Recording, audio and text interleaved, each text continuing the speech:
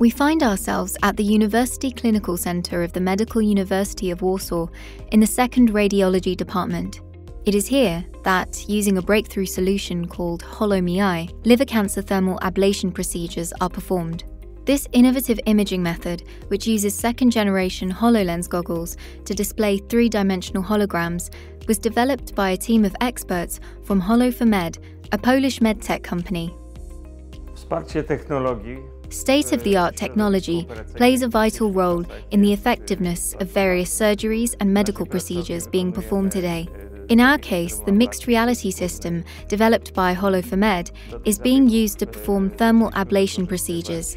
Because it uses holograms, this technology improves our depth perception and, as a result, the precision of three dimensional images we obtain.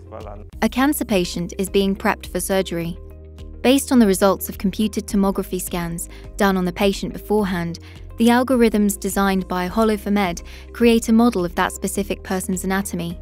Special markers are placed on the patient's body, and the thermal ablation needle, which is tasked with destroying the tumour. Using an optical tracking system, HoloMI can track the position of the needle probe in real time.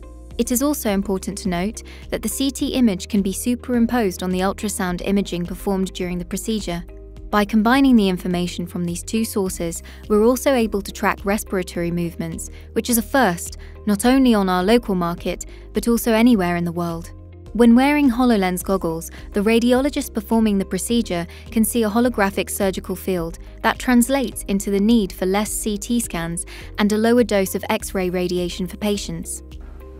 Using mixed reality in a sterile environment makes interacting with their surroundings easier for patients. There is no need to touch screen or operate workstations that require doctors to take off their gloves.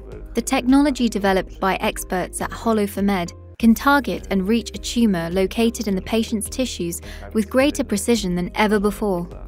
HoloMI is currently being tested around the world.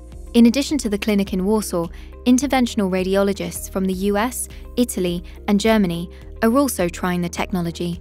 Dozens of procedures have already been performed using it. HoloMI was developed by the experts from Holo4Med.